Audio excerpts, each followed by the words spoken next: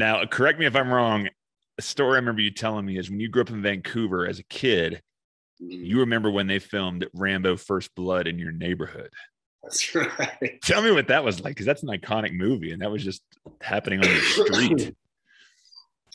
Yeah, so there were they filmed it in different places around BC. The main, do you remember the town in that film? Hope.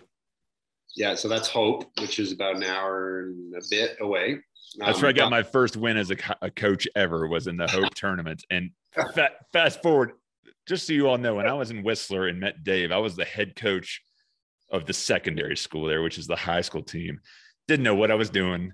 Dave and I talked a lot about this. Probably had eight guys on our team, and we went to the Hope tournament. And I was like, guys, the reason we picked this tournament is because this is where Rambo took place.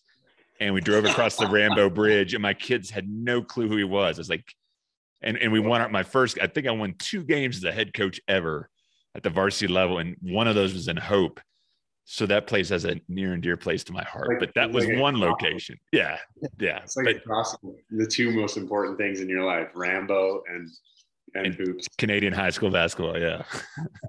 but they filmed some of that in your neighborhood. So yes, Hope was the main town. Yeah. Brian Dennehy, Sylvester Stallone. But what did they do in your neck of the woods?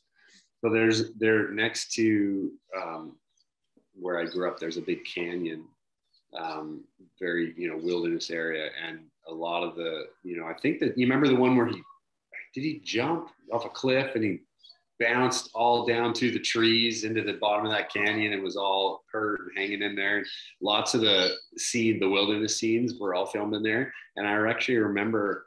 Um, I don't know if this is urban folklore or not. I'll have to try and research this for you, get a fact checker on it. But um, apparently, they had like a um, armory, right, with all the weapons and stuff, and someone broke in and stole all of them.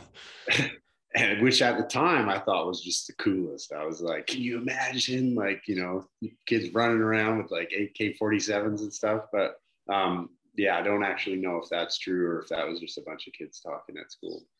but like for the neighborhood, like did you did you see Sly walking around?